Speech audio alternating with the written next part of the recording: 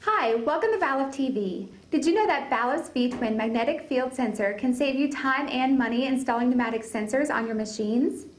Balluff's V-Twin requires only one connecting cable to detect both ends of stroke positions. In other words, the V-Twin has two sensors and only one connector. Take a look at this quick demo showing how the Balluff V-Twin reduces the number of wires and doubles the number of cylinder switches that can be used at the same time. Hi, we're here to demonstrate the pneumatic cylinder position sensor here by Balluff.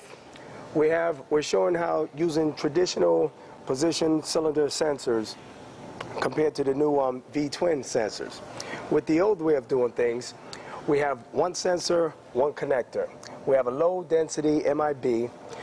It's higher cost and longer installation time. So you don't want that when you're in your application. And here we have the, the new V-Twin series where you have two sensors with one connector, a high density MIB, you save on sensor cost and space, and also you save installation time and material.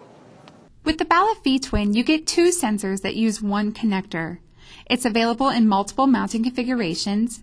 You can save on installation time, installation material, and sensor costs.